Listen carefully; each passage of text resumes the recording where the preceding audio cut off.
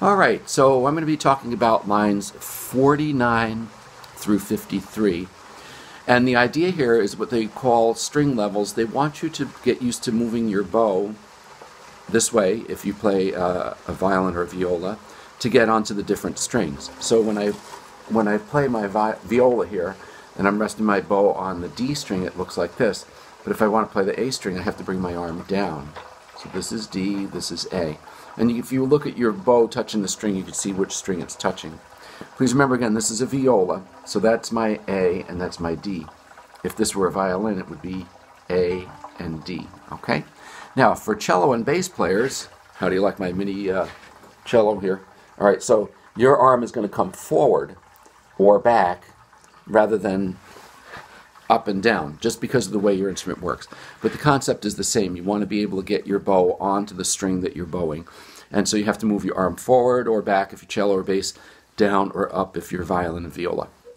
All right, so let's do line 49, all right? And let's say the note names first. One, two, three, four.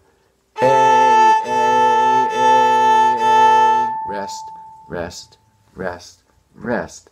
D, D, D, D. Rest, rest, rest, rest.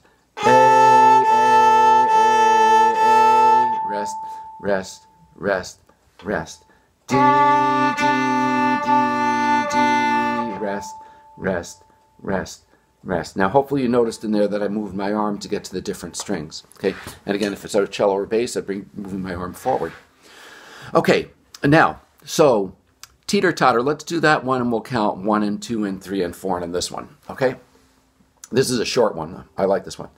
One and two and three and four. And one and two and three and four and one and two and three and four and one and two, three and four and one and two and three and four and all right, all right. Now I think you get the idea how this works. Um, only other concept on this page which I need to teach you about is called the bow lift. So I'll let you figure out mirror image on your own. But with bow lift, it's it's a really cool effect where you are playing your using your bow, and then they let's say you did a down bow right, and then they wanted you to do another down bow. Well, you wouldn't have much bow left, so what you do is you pick up your arm and you bring your bow back. So watch this. I'm going to play an A. Now notice that I'm almost out of bow, right? So I'm going to lift up my bow and just put it back like that. So that motion is called the bow lift. So when you see the thing that looks like an apostrophe or a comma, and it's written in your book right there, that's called the bow lift. You just pick your bow up and you reset it. And bow lifts can be worked from either direction. So if you, in other words, if you did an up bow, and they want you to do another up bow, you can pick up and also reset that way. All right? All right, so I'm going to do a strand of DNA and demonstrate that bow lift. All right, here goes, and I'll say the note names this time. Notice that I'm beginning about a third of the way up from where my hand is. All right. Notice my hand position. Okay. Here goes.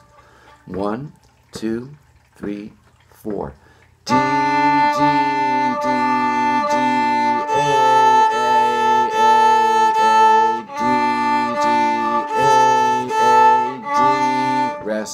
Rest, rest, rest.